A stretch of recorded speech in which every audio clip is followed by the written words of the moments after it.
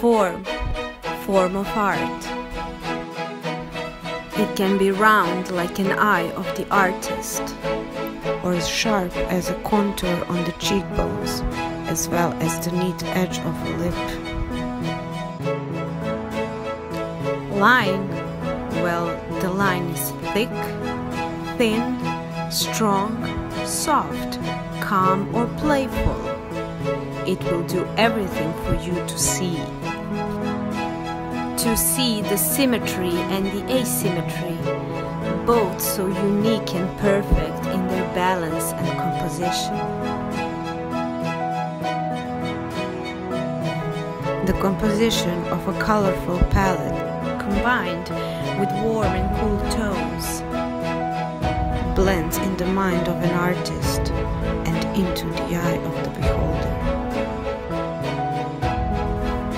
All together, they create both illusion and reality. That is why the art is a living thing. Artists create their works, whether it is a painting, a sculpture, or just simply makeup. It is living art.